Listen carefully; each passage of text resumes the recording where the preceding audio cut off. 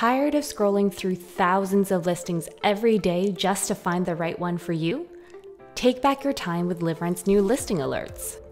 With liv.rent listing alerts, we'll let you know when there are new listings posted that fit your criteria and match you with places to fit your needs.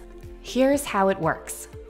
While you're logged into your liv.rent account, go browse the listings in Map View. Then, you can set your search filters.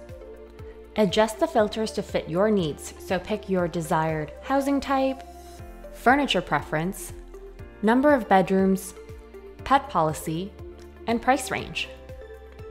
Once you've narrowed your search, you can then create your customized listing alert using the button in the bottom right hand corner of the map that says Create Alert.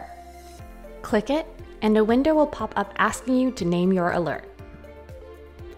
You can customize this for anything like one bed under $2,300 unfurnished, or even pet friendly one bedrooms, as well as how frequent you want these alerts to be.